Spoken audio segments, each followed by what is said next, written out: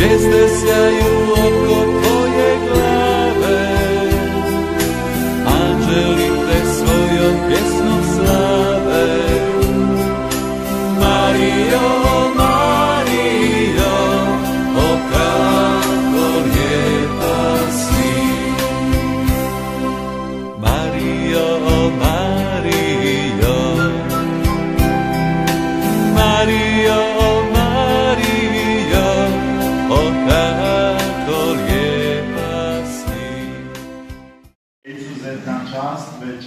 pozdraviti među nama gospodina Luku Tripala, o kojem sam prošle nedjelje, a i danas vam dosta toga rekao.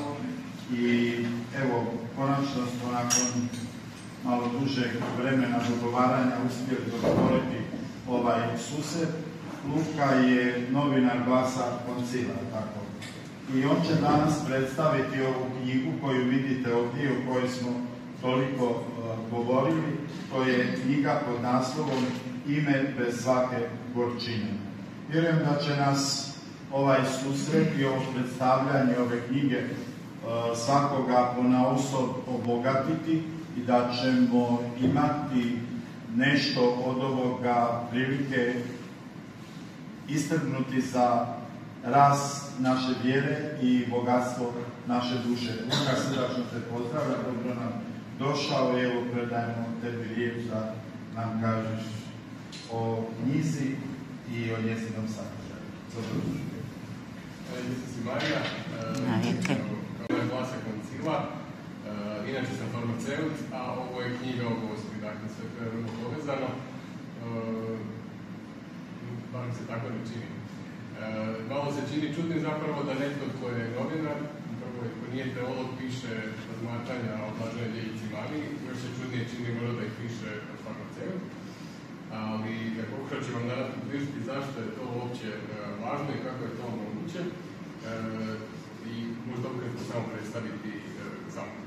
Dakle, e, ime bez svake količine, e, takav je naslov, pod naslov glasi biblijska razmatranja o lauretanskim litanijama, o litanijama. E, dakle, o onome što molimo zapravo e, barem dva mjeseca u godini intenzivno, a vjerojatno i češće, ali vrlo rijetko razmišljamo o tome. E, Gotovo da su to biblijska razmatranja, dakle da se u njima zbiva nešto sa svetim pismom, da se sveto pismo na neki način uključe u to. I treće, da su to razmatranja koja bi trebala biti upućena e, rješavanju gorčine. Jer s gorčinom se svi susrećemo, gorčinom se i Marija susrela, zapravo to je jedna od prvih stvari koju je doznala u svojom pozivu je da će biti teško, o, što se na neki način odnosi na sve nas. Marija je taj svoj poziv, e, koji je na neki način već upisan u njezino ime, e, snosila sa, sa strpljivošću i zapravo progutala je gorčinu koju, koju je Bog priredio da bi donijela lijek za sve. E, zašto je to važno reći? Zato što samo ime Marija, koje je prvi zaziv Loretanskih Britanija, znači gorčinu. Znači, označava gorčinu, odnosno označava popunu. I doista, ako pogledate Marijinu povijest, e, Marijin život, to su dvije riječi koje bi se najmanje mogli spojiti s njom. Sve drugo nekako, e, ali gorčinu i pobunu nikako. I to je, ja bih rekao, Bog se malo poigrao e, i Bog se vrlo često, rekao bih, smije. Pa i u ovoj, u ovoj prilici kada je Marija dobivala ime, da će upravo ona koja je nazvana po e, da ćemo danas zazivati njezino slatko ime. E, Dakle, ova knjiga Sapir 56 razmatranja koja se objavljiva na godinu dana e, u glasu Koncila. E, Ako vam taj broj zvuči neobično, možda je to zato što Loretanska Britanija ima 54, ne 56. Ali dodao sam dva zaziva koja se vrlo često mole u našim crkvama. To su zaziv kraljici Hrvata i kraljici Franjevačkog reda. E, zapravo i moram priznati da kada sam crkava posjetio druge dodatne zazive nisam čuo, a i pape su kroz povijest dosta strogo tretirale Loretanske Britanije, pa e, mislim da taj popis e, nije baš mudro sad onako na svoju ruku proširivati. No kako je došlo uopće do ove knjige? Ja bih rekao slučajno, još u vrijeme dok nisam bio novinar, nešto sasvim drugo, uredni glasa koncipa pitao me da počnem pisati meditacije. Sve ja sam počeo pisati, ali vrlo sam shvatio da će mi trebati nešto o čemu ću moći pisati dulje, jer čovjek može napisati jednu meditaciju iz ruke, može napisati dvije, možda čak i deset, ali bez nekog plana, vrlo je teško pisati meditacije svaki tjedan. I novine su trebale izaći, iduće kojima sam trebao objaviti svoju meditaciju, upravo na ime Marije. E, meni je to bio na neki način znak, ja sam pogledao odmah na internetu koliko ima e, zaziva. Ali ne sam da ih ima tamo toliko da mogu pisati o njima e, godinu dana.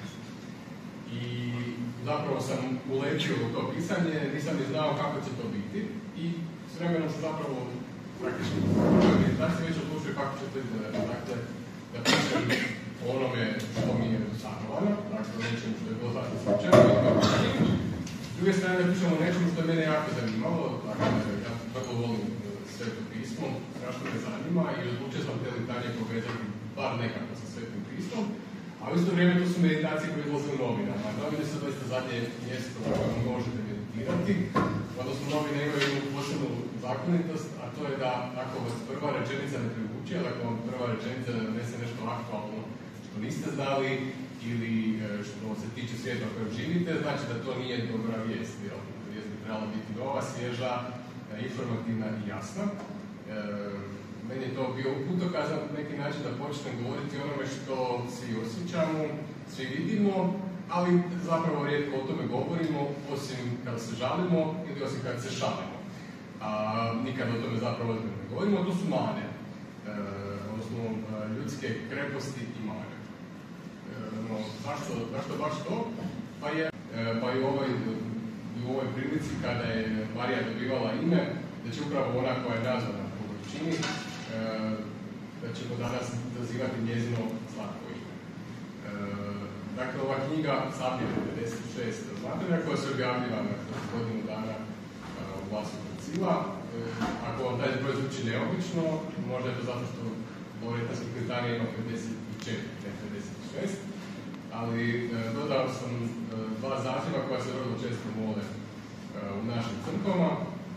E, to su zaziv kraljici Hrvata kraljici Franjevačkog reda. E, zapravo i moram priznati da kada sam crkava posjetio druge dodatne zazive nisam e, čuo, a i pape su kroz povijest dosta strogo tretirale Loretanske Britanije, pa mislim da taj popis nije baš mudro na svoju ruku proširivati dalje.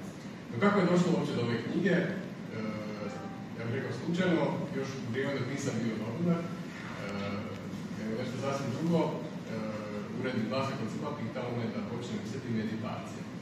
Sve ja sam počeo pisati, ali vrlo sam shvatio da će mi trebati nešto o čemu ću moći pisati dulje, jer čovjek može napisati jednu meditaciju iz ruke, može napisati dvije, možda čak i deset, ali bez nekog plana, vrlo je teško pisati meditaciju svaki tjedan. I novine su trebale izaći, iduće kojima sam trebao objaviti svoju meditaciju, upravo na ime Marije. E, meni je to bio na neki način znak, ja sam pogledao odmah na internetu koliko ima e, zaziva. Ali ne shvatio sam da ih ima tamo toliko da mogu pisati o njima e, godinu dana. I zapravo sam ulećio u to pisanje, nisam ni znao kako će to biti i s vremenom sam zapravo praktički u meditaciji već odlučio kako će to izgledati. Dakle, da pišem onome što mi je sanovano, dakle nečemu što je bilo zatim slučajno druge strane da pišem o nečemu što je mene jako zanimalo, dakle ja vrlo volim e, sveto pismo, strašno me zanima i odlučio sam te litanje povezati bar nekako sa svetim pismom, a u isto vrijeme to su meditacije koje izlaze u novinama. Novine su doista zadnje mjesto u kojem možete meditirati, odnosno novine imaju jednu posebnu zakonitost, a to je da ako vas prva rečenica ne privuče, ali ako vam prva rečenica donese nešto aktualno što niste znali ili e, što se tiče svijeta u kojem živite, znači da to nije dobra vijest. Jel? Vijest bi trebala biti nova, svježa, e, informativna i jasna. E, meni je to bio putokaz na neki način da počnem govoriti o onome što svi osjećamo, svi vidimo, ali zapravo rijetko o tome govorimo, osim kada se žalimo ili osim kada se šalimo. A nikada o tome zapravo ne govorimo, to su mane, odnosno ljudske kreposti i mane. E, no, zašto, zašto baš to? Pa na naslovnici ove knjige se nalazi um, ako, ste bili u Sinju, vjerojatno ćete reći Gospa Sinjska. E, Ako ste bili u Ravnici koja se danas nalazi, časti u Sinju s krunom, dakle, tako je svi zapravo znate. Em, donesena je iz rame e, Ramske e, iz rame u Sinj i danas je ona tamo nakićena zlatom koji su Sinjani darovali. Meni je to bila lijepa slika jer ovaj, ovaj, ova knjiga je pokušaj da Mariji dam ta sam tu silu zlata koju ona zaslužuje, a zapravo ono glavno Marino jest ono što se vidi na slici Gospe Ramske na kojoj nema nikakvog nakita, to je Marija koja je blaga žena, koja je poslušna žena e, i to blaga i poslušna možda je bolje staviti u, u neutralno, dakle blagost poslušnost da ne zvuči kao nešto samo ženski, jer ta, tam te Marine vrline, blagosti i poslušnosti su ono što treba e, ne samo ženama, nego treba, nego prije svega kao treba muškarcima. E, zašto? Zato što to je konačna slika e, crkve, Krist je zaručnik, mi smo zaručnica, svi se mi trebamo zapravo usvojiti nešto od te, e, od te zaručničkosti, dakle da smo slični zaručnici nego zaručniku, da smo više poslušni Bogu nego što smo svojeglavi, bez obzira na svojstvo.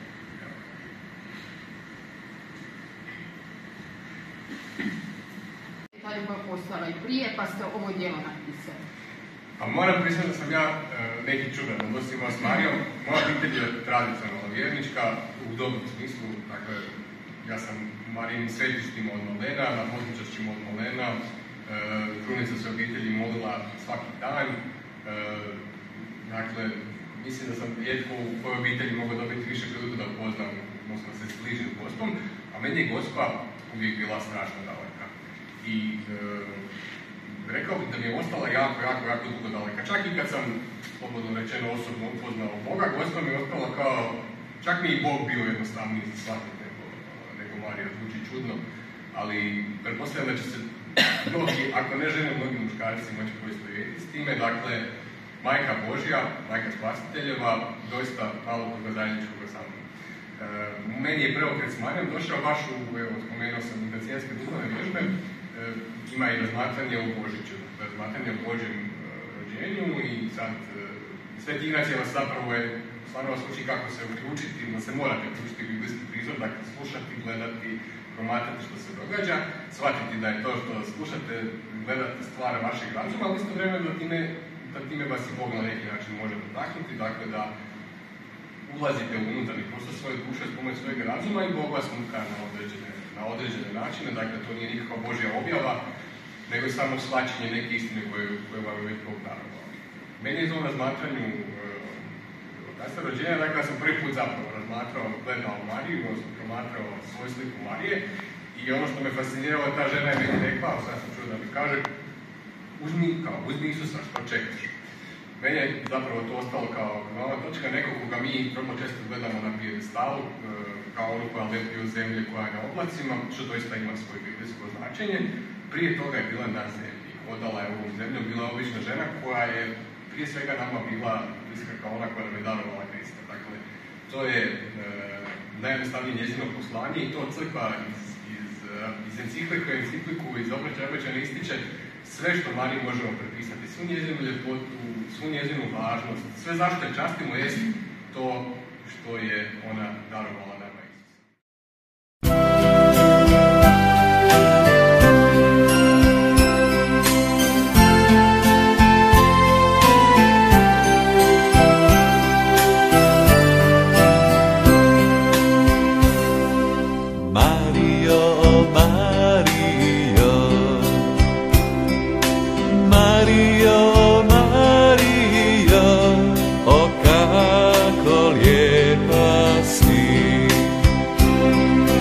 Biz de seyu